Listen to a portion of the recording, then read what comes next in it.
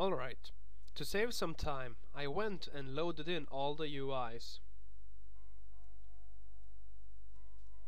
Basically, the same thing as before when we created our window. Exactly the same.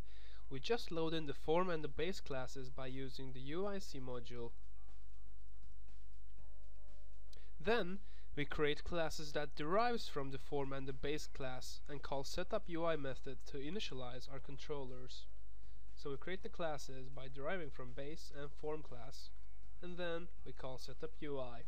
And I've done this for the node editor that inherits from node base and node form, light editor that takes light base and light form, etc. And finally, I've created them just to see if it works. So if we run this, we get all our editors popping up. So this is the node editor, this is the camera editor with motion blur and shake intensity, this is our light editor with light intensity near range, far range and cast shadows, and this is our transform editor with position and three components. So what is our goal? Our goal is to have the node editor available for all our all our nodes. Doesn't matter which one you choose, it should be always visible. While the specialized editors such as the light editor, camera editor and the transform editor are chosen dynamically depending on the type and placed below the node editor so if we would choose a light, this is how we want it to look inside our window, with the node editor at the top and light editor at the bottom. So we need to make some adjustments to our window UI file. So fire up the designer again. Open the tutorial 05 UI file from the previous tutorial so we can modify it we need layouts to hold our editors. We need two layouts, one for the node editor and the other one for the specialized editors such as the light node, camera node and the transform node. And I'm gonna wrap them up in a group box. So let's first create a group box at the bottom, give it the name properties. Let's give it a minimum height of about 100 so we can actually drag and drop something in it or else it's going to be very hard. Minimum size of 100 and I said two layouts so let's create two vertical layouts. First one is for our node and the second one is for our specialized editors. And call this layout nodes and the second one to layout spec. Finally click on the group box and then click on align vertically or layout vertically at the top. Save this out as tutorial 06.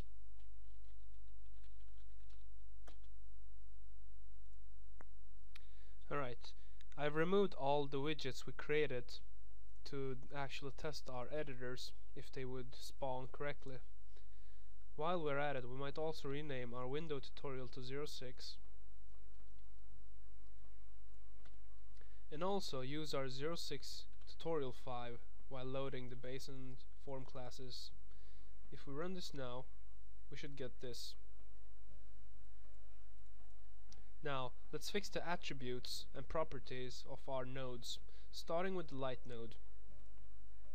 Remember, our light node had uh, four attributes which were light intensity, near range, far range and cast shadows. So let's create them. We have light intensity default to 1, near range to 40, far range to 80 and cast shadows to true. Let's also create the getters for them. Here we have the getters, calling light intensity, returns the light intensity, etc. We also need the setters. Set light intensity receives the intensity and it sets the protected light intensity to intensity. So basically we have setters and getters now. Let's do that for the camera node as well. Camera node has two attributes, motion blur and shake intensity. So motion blur is true by default and shake intensity is set to 50. Let's fix the getters and setters. And finally we need to create the attributes for our transform class. And it's gonna have xyz coordinates and then also getters and setters.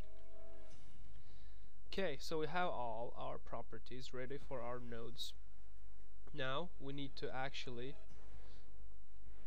start using QDataWidgetMapper class on our node editor, light editor, camera editor and transform editor let's create a QDataWidgetMapper now we need one per editor self data mapper is Qt GUI data widget mapper. I'm gonna do it the slack way and copy paste this all over. You might want to fix this with inheritance, but I'm gonna do it this way for now. We also need to fix one error and it's the scaling of the properties group box. I'm gonna put it to put it at 350 save and now all that's left to do is for now is to create our editors inside our window class. So create a node editor and also create the other editors such as light editor, camera editor and transform editor. Let's rename these as well. Light editor, camera editor and transform editor and our editors take a parent argument on the constructor. We want the parent to be the window so they don't float around. And we also want to dock them inside our layouts. Layout node and layout specs. So self layout node add widget we add our node editor to it. And then the light editor, the camera editor, the transform editor. But we want we don't want to add them to the layout node. We want to add them to layout specs. And if we run this we're gonna get all the editors showing up at the same time without selecting anything.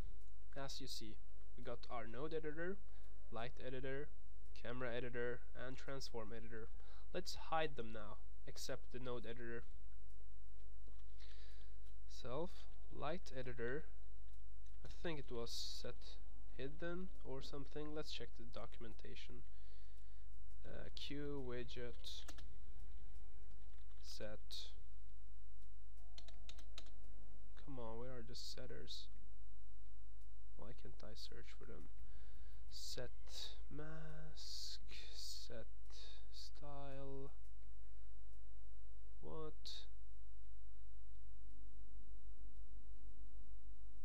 is there a method called hide? Maybe hopefully. What? Hide. Q widget well, it does have a method called hide. It wasn't just showing up in the documentation for some reason. Alright, so... Oh, it also has something called set visible. Alright. Set visible. False. And also do that on our camera editor and transform editor. So now only our uh, node editor shows up but this doesn't look correct. So let's go back to designer and use a vertical spacer at the bottom so it pushes everything upwards. We might as well want to change the minimum size to zero and use preferred. No we want to do expanding on horizontal uh, on the horizontal and on the vertical. Save this out and let's try running this again now it looks correct. Perfect. There are a few bugs we must fix. Go to the set data method and notice that we aren't checking the column while setting the data. But our name lies in column 0 and type info lies in column 1. We really need to do this check. If index column is 0 then we set the name. Also, calling set data manually wouldn't update the views that is using this model. they wouldn't notice that the data has changed. So we need to emit a signal which we get by inheriting QAbstract item model. The signal is called data changed. So write self data changed emit. It takes two parameters from and to. Since we only want to update a single item, we will pass the same index to both of them. Let's also comment out all the proxy model logic in our window. It's gonna make everything a lot easier when I'm explaining how the QDataWidgetMapper class works. So comment the proxy model and all the logic that belongs to it. And also we need to set the model of our tree view to the original model.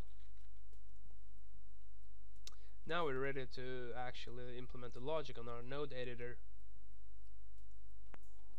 First of all, we need to set the model that the QDataWidgetMapper will use, and that's done by calling setModel. Since our data mapper is a protected member denoted by the underscore, we should provide our own method for setting the model. Like so. Set model, model, store it, and set it. Set model with the model. Once the model is set you can call add mapping. Add mapping takes a specific column and the widget you want to map to. The function looks like this. The widget you want to map to and the column. The widget will correspond to UI name or UI type data will be the data will be retrieved from the column and displayed in the widget. And when you edit the data in the widget, it will be submitted back to the same model into the same column. Only the display role is used by QDataWidgetMapper. If we inspect our data method of our model, we see that for column 0, we return the name. For column 1, we return type info. Even though we don't display the type info by having our column count at 1, we can still map to that column. As I said, think of row and columns as a grid of data. You don't have to show it. No one is forcing you to do that. So let's add our mappings.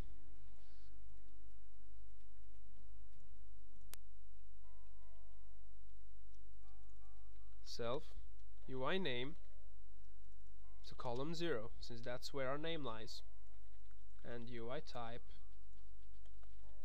to column 1 remember those two are our widgets created in Qt Designer UI name, UI type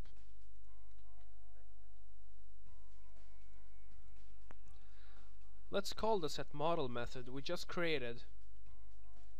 This should be called in our window class with our data model. So self node editor set model with our data model.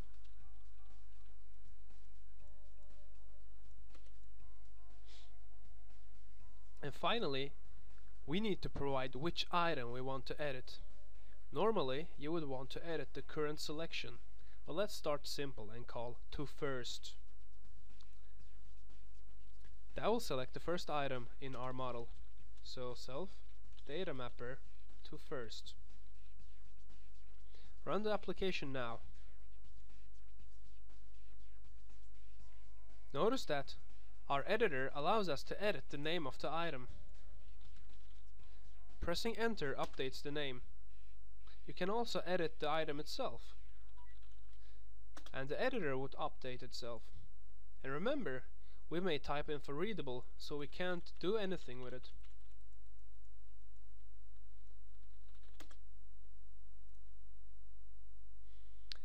As you can see, the powerful model view framework that Qt provides for syncing is still there. We could share the single model across other views and it would still work.